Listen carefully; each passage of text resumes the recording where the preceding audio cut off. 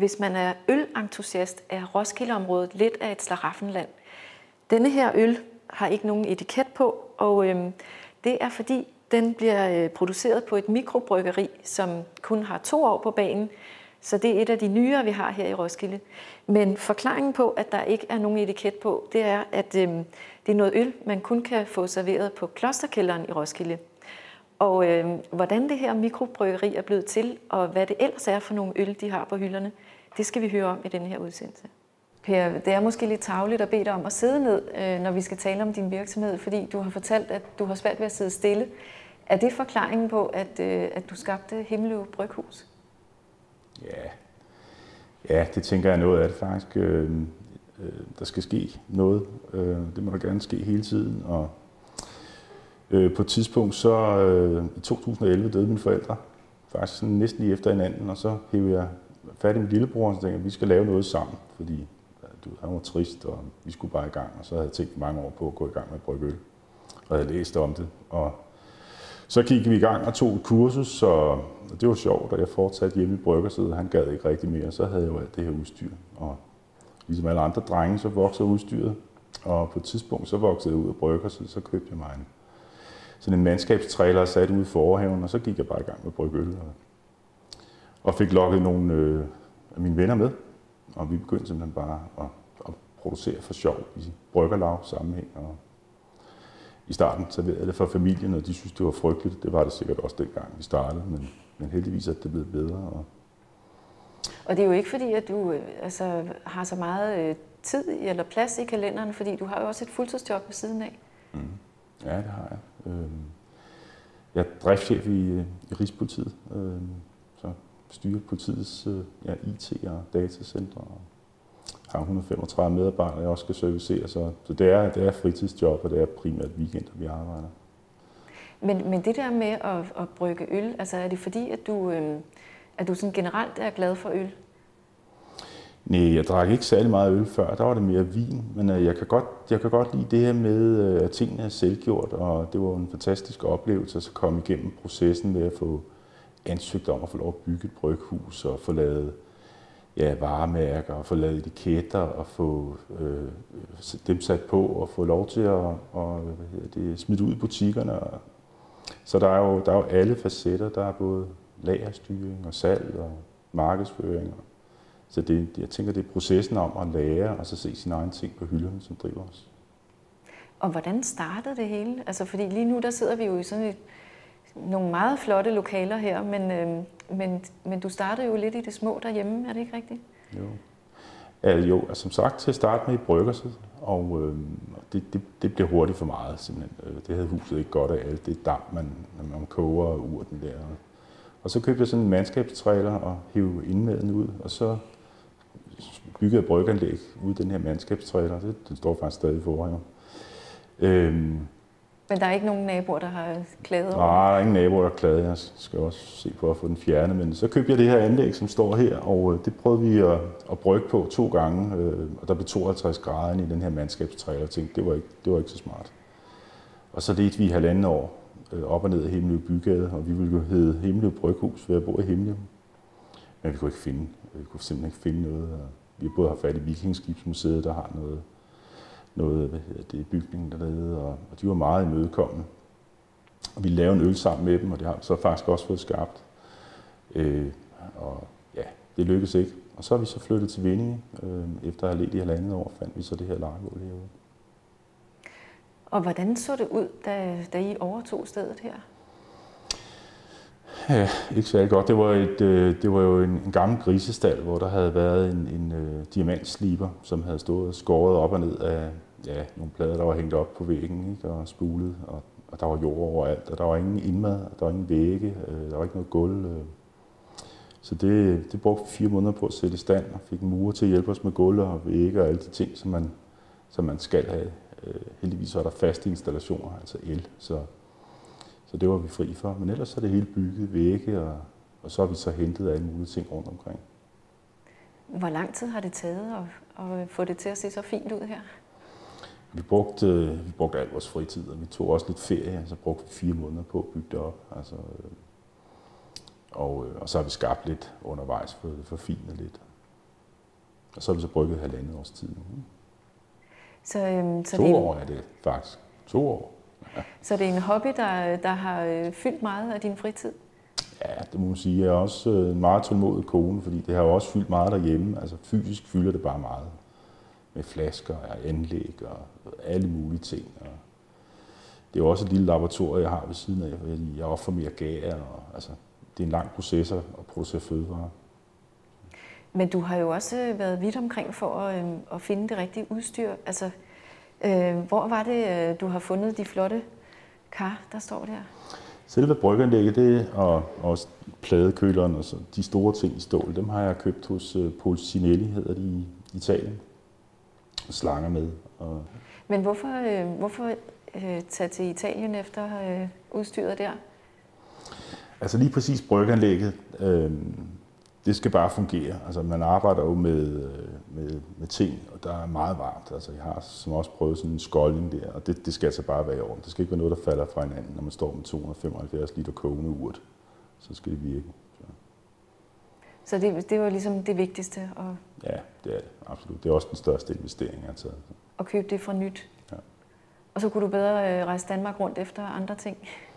Ja, det var, det var simpelthen bare for at spare penge, og så også øh, genbrugstanken, synes jeg er fin, og, og det er også derfor, at vi serverer ting i lokalområdet, ikke? så i stedet for at købe nyt hele tiden og smide ud, så, så synes jeg, det var fint.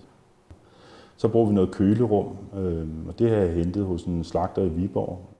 Jamen, jeg må starte med at sige, at normalt så bruger man ikke kølerum, når man producerer øl. Så har man sådan nogle dobbeltkappede øh, tanke, øh, hvor man så kører en eller anden form for væske igennem, der holder temperaturen. Men men vi har valgt en, øh, også sige en billigere løsning øh, med fladbrundede øh, ståltanke, og så har vi så valgt at styre temperaturen i sådan en, en fryser her, hvor vi både kan styre ja, temperaturen, den kolde del, og så har vi sådan en varmeblæser i. Jamen det har jeg været over at hente øh, på en stor trailer øh, hos en slagter i Viborg. Det var frygteligt at komme hen over broen. Det blæste og det hele, det var ved at vælte af for mig. Men, men det, var, det var billigt. Det, det var 20.000 for to fryser, og ja, nyprisen er vel 80, vil jeg tro, så det var en rigtig nem måde at gøre det på. Det var turen værd. Og hvad, øh, hvad er det for en proces, der er i gang derinde? Jamen lige nu der er jeg ved at, gære en, øh, faktisk en hvidt, den der hvidt bier øh, ned.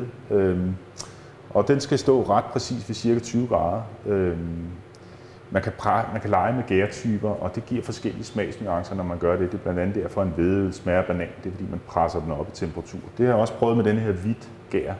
Og da jeg gjorde det, så kom øllen til at smage hæfteplaster. Det var ikke, øh, så det måtte jeg, Det var ikke det var intentionen. ikke, no- nej, det var ikke noget, der solgte. Øh, Så, så den skal være, ligge ret præcis omkring 20 grader. Og derfor så, så styrer man både varmen og kulden øh, i sådan en fryser her, så den ikke bliver for varm og kommer til at smage af ja, hæfteplaster, eller den bliver for kold, og gæringen kan gå i stå. Øh, Så. Og vi har så 275 liter sat over. Øhm, og det er sådan en ret hæftig øl, så nogle gange så, så løber det simpelthen over, og derfor så har vi sådan en, ja, en slange ned i en spand, så kan det løbe ned i den. Og nogle gange er det ikke nok, vil jeg sige, så sprøjter det bare ud. Så. Og gæringsprocessen, den, det, øl skal jo have lov at gære ned, fordi hvis ikke det gærer ned, og man så smider det på flaske, så fortsætter det med at gære, og så det, det skaber jo CO2, og så eksploderer flaskerne faktisk. Det, det vil ikke så kønt ud nede på hylderne nede i, i menuer, det står og popper af. Ja, så. Nej. så det er en meget styret proces, og vi måler rigtig meget på det. Altså, det er en rimelig, altså en rimelig teknisk proces også. Altså de to, to største samarbejdspartnere, vi har for uden et øh, værtshus, det er, det er Vindingen Købmand, min købmand herovre, som var meget imødekommende faktisk, lige da vi startede op, og var også meget nysgerrige, og som vi har haft nogle prøvesmagninger sammen med. Og så øh, min nye Himlev, øh, som vi jo også, fordi vi hedder Himlev Bryghus, som vi også serverer en, eller sælger en del øl igennem.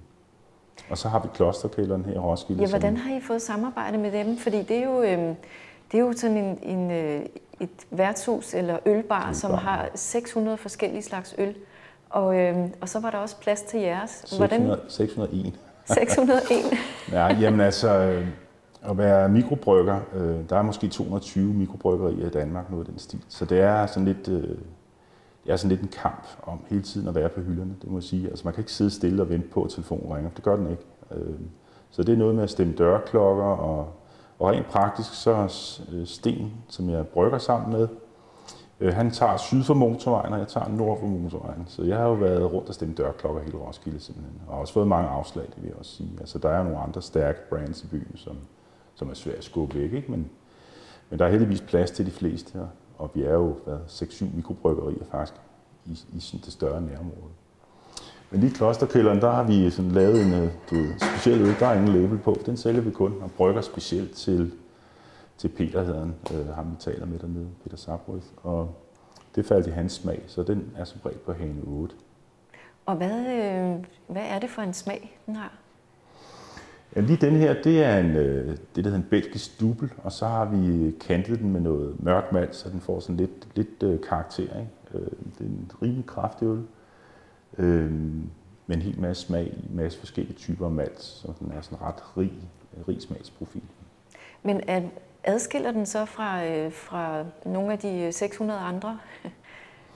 Ja, altså de fleste øl smager meget forskelligt. Øh, også selvom man prøver at klone en øl. Det har vi også prøvet. Prøve at få det til at smage. Øh, øh, nogle af de øl, vi har brygget, dem, øh, altså vi har komponeret alt selv. Det er jo, det er jo ikke opskrifter, man hugger ud af, af hvad hedder en opskriftbog. Så det er noget, vi finder på og forfiner over tid. Så, så det er jo noget med, hvad man selv synes smager godt, og, øh, og hvilken altså smagsprofil man, man godt vil fremhæve. Og det, det falder nogle gange i forbrugernes smag, og så sælger det, og andre, andre gange sælger det ikke, og så må man lade være med at brygge det. Så, så lige de 11, vi har øh, i fast sortiment, dem har vi brygget rigtig mange gange over de her. Ja, jeg startede i 2011 med at brygge, så de er ni år. Så.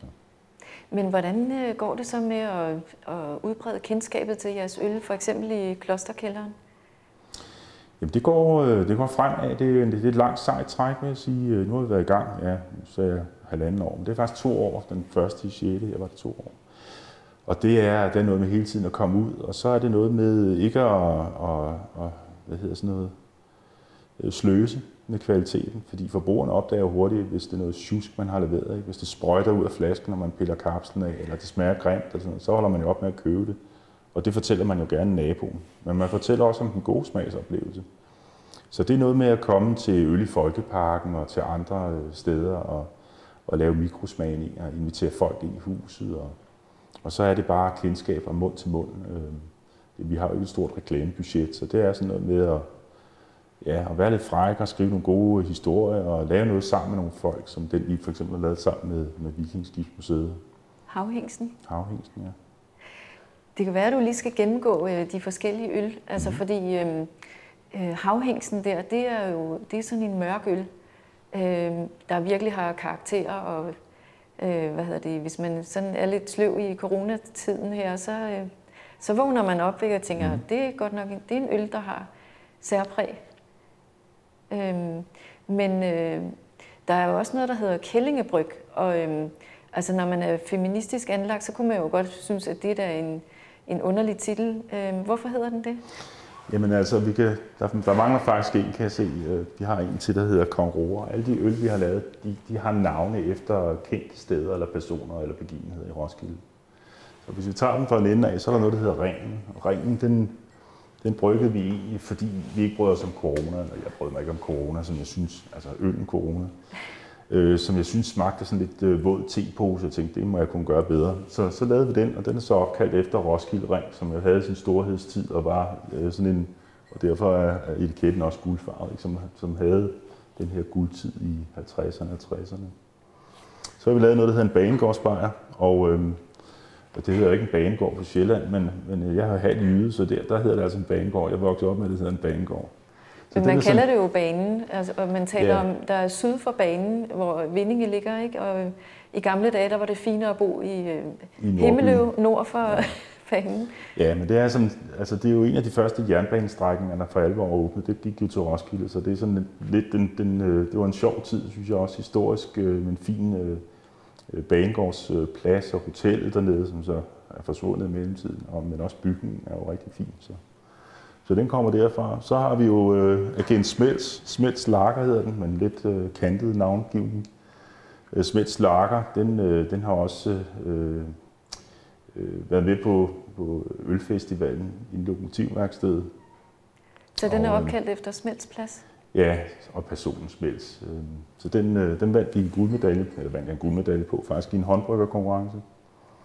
Så er der røde, jamen det kan være mange ting. Det kan være røde port, men det kan også være personen røde for Matador, og det er det så også øh, i det her tilfælde. Øhm, det er de her tre, øh, det er alle sammen, hvad hedder det, altså pilsner-typer. Og det er det her faktisk også, selvom den er mørk. Så det er en mørk pilsner, det er ligesom en rød tuborg, men også med en meget rig maltprofil. Så har vi øh, to vedøl, og den ene den hedder Kællingbryg, og den er opkaldt efter Kællinghaven.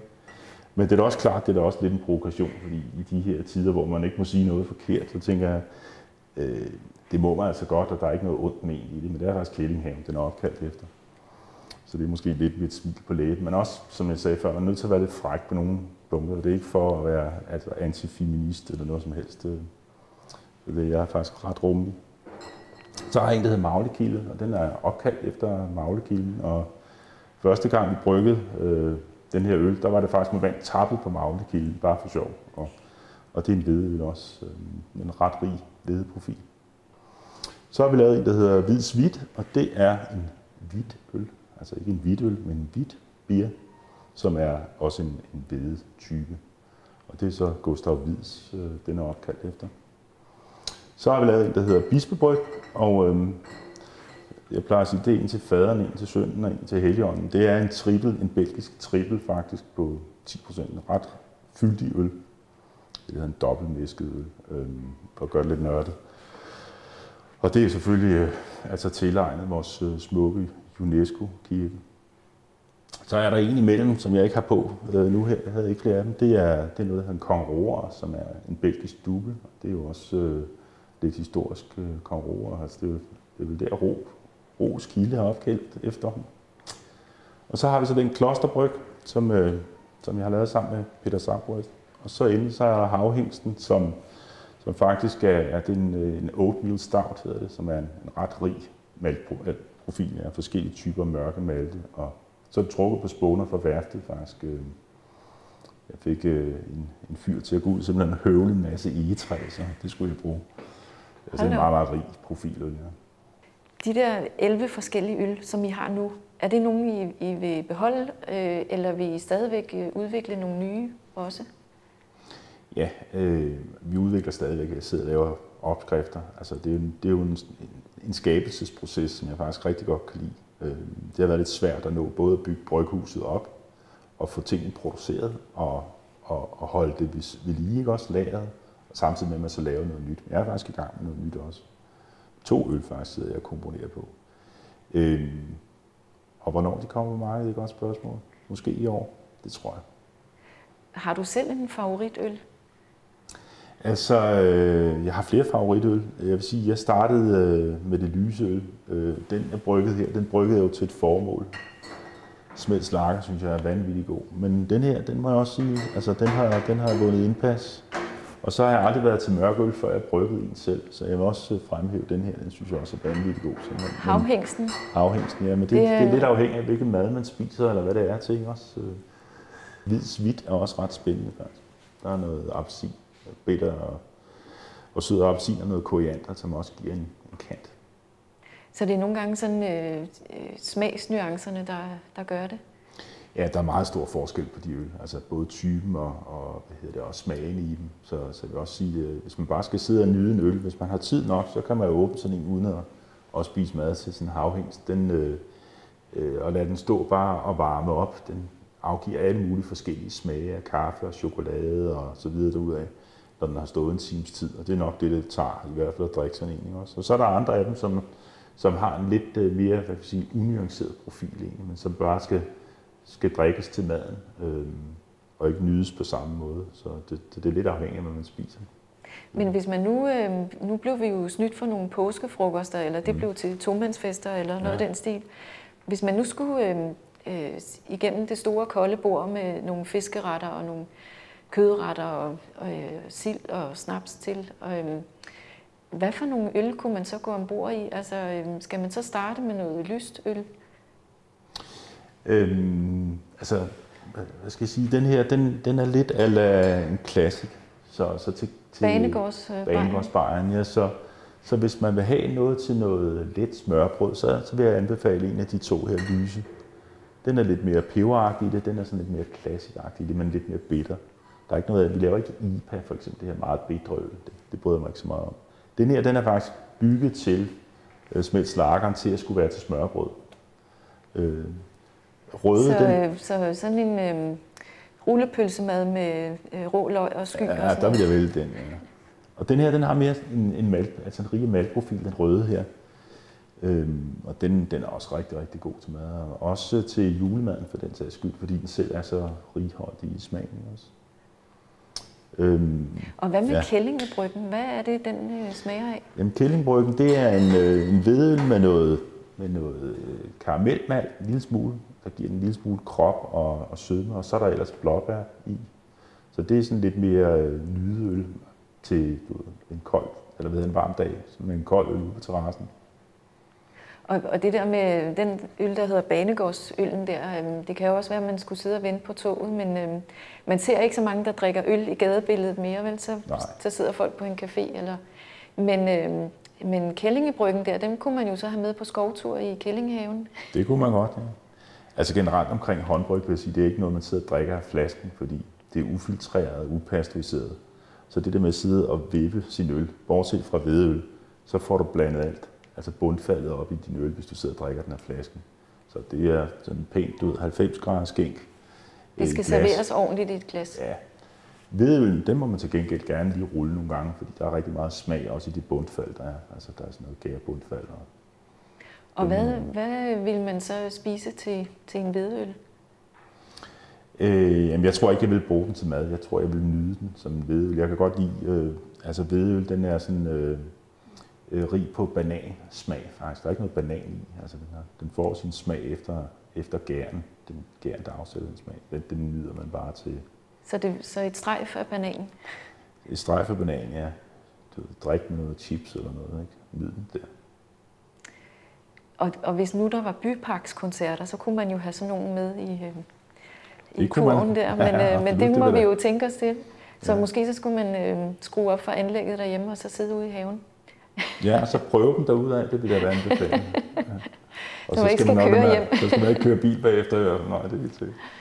Men, øh, men nu kommer der jo også snart gang i noget øh, engelsk fodbold og så videre, hvor man også øh, kunne sidde og nyde en øl derhjemme. Ja.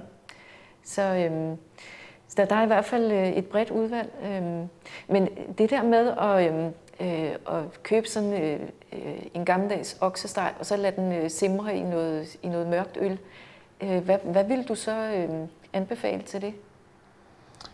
Øh, jamen altså, de meget kraftige kødretter, der, der er vi over i de mørke øl. Altså nu kan man ikke købe den her som konsument, men øh, altså, det vil jeg, den vil jeg selv drikke. Eller den, som jeg så ikke har stående, der hedder Kong De der tre meget mørke øl. Øh, det skal der til, for ellers så drukner øllen jo i smagen af det her meget mørke kød. Så, altså, ja, helt klart en, en mørk øl vi har drikke til de her simmerretter, kraftige retter. Eller den der, som faktisk også er, er rimelig. Altså, den har en rimelig malprofil. Det må have været hårdt arbejde, da I satte det her i stand. Og, øhm, øh, og det må også være øh, nogle gange kræve noget tålmodighed. Øh, det der med at få øllet til at, at gære og, og få, få det resultat frem, I gerne vil have. Ja, hvis du kan huske Gourmetbryggeriet her i Roskilde, det var en fyr, der hed Christian Skovdal, der solgte øh, ølfabrikken til Gourmetbryggeriet. Og ham Christian, ham øh, kender jeg ret godt øh, privat, og han... Øh, sagde til mig, at være med at starte bryghus. Det er simpelthen det er ikke andet end rengøring, og en gang imellem, så kommer der godt øl ud af det. Og, og det er også rigtigt. Det er virkelig, virkelig hysterisk rengøring, fordi bare den mindste mikroinfektion i sådan en øl, der er jo en lille smule restsukker i, og naturgær kan måske spise mere af sukkeret, end den almindelige ølgær gøre, og så får man en sur øl, der eksploderer ud af flaskerne. Så, så det er rigtig meget rengøring. Øh, men så er det selvfølgelig også det her med, du ved, hvordan skal etiketten se ud, og og der er jo også en historie bagpå, ikke også? Altså, hvad skal, hvad skal fortællingen være om den her øl, og, og hvem skal købe den i det? Så hvad er publikum til den, og, og hvor skal den sælges, og hvad skal den koste, og hvordan skal ved, kapslen se ud? Og, og så er vi jo fødevaregodkendt, der har elite. Så processen omkring, øh, omkring det at få det godkendt, den har også været lang. Det har været en rigtig god proces, synes jeg. Der er ikke nogen, der har modarbejdet os eller noget som helst, man nogle gange hører, at det er også svært at arbejde med dem og dem. Men vi synes, vi har fået rigtig meget hjælp faktisk også, både fra Fødevarestyrelsen og Dansk Retursystemer. Hele muligheden. Selv punktafgift er egentlig tilfreds med skat, og det fungerer. Det er dyrt, men det fungerer. Men det har vel også en betydning, at, at det er en hobby for jer, og I har ikke et eller andet pres om, at øh, i skal have virksomheden til at fungere for at få øh, smør på brødet, eller øh, for at kunne leve af det. Ja, og det er rigtigt. Altså, øh, vi er det, eller lige før coronakrisen, sige, der var vi der, hvor vi kunne betale huslejen, det løber sådan nogenlunde rundt. Ikke? Og, så, og det er jo fint, at man ikke skal have penge med på arbejde, fordi det er, vi bruger rigtig mange timer på det, det vil jeg sige. Altså, sidste, sidste år lavede vi 20 bryg, øh, det svarer til cirka 5.500 liter øl. Det er jo ikke meget, altså i den store skala, men for os er det meget, når man sidder og håndruller etiketterne på og tapper det i hånden. Og, øh, så, så det er meget arbejde, kan man sige, og, og for ingen indkomst. Men, men det er passionen omkring det her med at levere en ordentlig kvalitet produkt til forbrugeren, som, som det handler om. Og det, du, man sige, det kan man ikke gøre op penge. Det ville da være rart, der kommer noget ud af det. Men det er faktisk ikke det, der er det primære. Det er lidt filantropi på en eller anden måde. Men hvad, hvor i ligger så øh, arbejdsglæden? Jamen arbejdsglæden, det er altså den der fornemmelse af at kunne, øh, som jeg gjorde i dag, lige inden jeg kom herud, der kørte jeg ned med, med 10 kasser øl til Palle nede i Menu i Himmeløv, også, og så se øh, de her ting blive øh, båret ind, du ved, og scannet, og der er QR-koder på osv. Og så havnen, så har vi fået en speciel afdeling, der faktisk øh, handler om det lokale øl. Ikke kun Himmeløv Bryghus, men der, der står andre produkter. Og så se, se sin kreation på hylden, og og øh, bare gå rundt og ned og lure, og så se folk stå og læse om ens øl, ikke også? Eller læse på OnTap, der er nogen, der har givet øh, du ved, den her stjernekarakter, der får rigtig, rigtig høj karakter faktisk. Og de fleste af de øl, vi laver, får høj karakter. Og dem, der ikke får høj karakter, dem må vi så lade være med at producere selvfølgelig, ikke også? Men, men der er i hvert fald noget for enhver smag. Der er, der er, ja, der er ret bred profil. Ja. Men Per, du har jo også været aktiv i skolebestyrelsen ved Himmeløv Skole, så øhm, ja. du er jo også et kendt ansigt i Himmeløv. Og, altså, det, som, øh, når man er ude og købe ind, så, så øh, tænker man jo også, at jamen, hvorfor ikke støtte de lokale? Altså, det, er da, det er da meget sjovt, at, øh, at man kan købe noget øl, der er brygget lokalt. Ja, altså jeg ved ikke, jeg tror ikke, jeg er kendt ansigt, men jeg har siddet i skolebestyrelsen i Egården og i Gadegården og og øh, klub øh, Roskilde Øst har jeg jo været med i skolebestyrelsen for. Jeg har været med ude på Roskilde Festival i mange år og været formand for den støtteforening, der er der for at tjene nogle penge til ungerne. Og jeg har siddet i skolebestyrelsen i otte år, og de sidste to år var jeg formand for skolebestyrelsen. Øh, jamen jeg synes, det er vigtigt at støtte op om, øh, om det område, man bor i. Altså, og så, så har jeg bare, som jeg sagde, svært ved at sidde på hænderne. Øh, og så, øh, så tænker jeg, at hvis man vil forandre noget, så må man starte med at, at gøre en indsats. Så det, det er lige så meget det. Jeg synes, det er vigtigt, at man, at man deltager. Ikke også? Så, man kan ikke brokse over noget, man ikke selv gider deltage i.